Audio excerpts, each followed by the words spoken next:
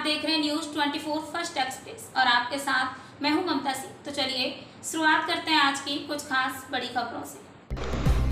डीमरखेड़ा में विद्युत वितरण केंद्र, डीमरखेड़ा के अंतर्गत आने वाली ग्राम पौड़ी कला, बीमा डेड माउस से तीन ट्रांसफार्मर जले पड़े हुए हैं।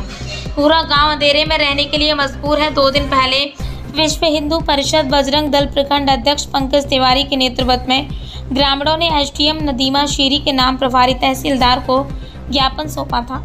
जिसमें प्रभारी तहसीलदार के द्वारा आश्वासन मिला था कि दो दिनों के अंदर ट्रांसफार्मर बदल दिया जाएगा, लेकिन दो दिनों तक कोई भी ट्रांसफार्मर नहीं बदलेंगे, जिसके कारण ग्राम पंचायत पौड़ी कलावी का आम जनता आक्रोशित होकर चक्का जाम कर दिया गया है। जिसमें जनपद सदस्य श्रीकांत पटेल, सिमरिया पर सरपंच विनय ज्योतिषी, कांग्रेस पिछड़ा युवा मोर्चा अध्यक्ष देवशंकर पटेल, विश्व हिंदू परिषद बजरंग दल प्रखंड अध्यक्ष पंकज तिवारी, युवा वीर सेना अध्यक्ष मोहित पांडे समाज सेवी शरद पांडे संजय पांडे पप्पू पांडे एडवोकेट जयप्रकाश शुक्ला, वृंदावन पटेल, लाला पटेल, रोहित नाई, विद्रास पटेल, ग्राम पंचायत पौड़ी एवं सिमरिया के समस्त ग्रामीण उपस्थित रहे। ग्रामीणों का कहना है कि अगर कल तक बिगड़े हुए समस्त ट्रांसफार्मर नहीं बदले गए तो इसका बड़ा प्रदर्शन होगा, जिसके जिम्मेदार शासन, प्रशासन एवं जिनके लिए अधिकारी कर्मचारी होंगे।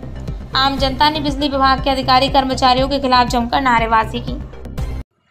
गया एक छोटे से ब्रेक का। ब्रेक के बाद फिर से हाजिर होंगे ऐसी कुछ खास बड़ी खबरों के साथ। तब तक के लिए नमस्कार।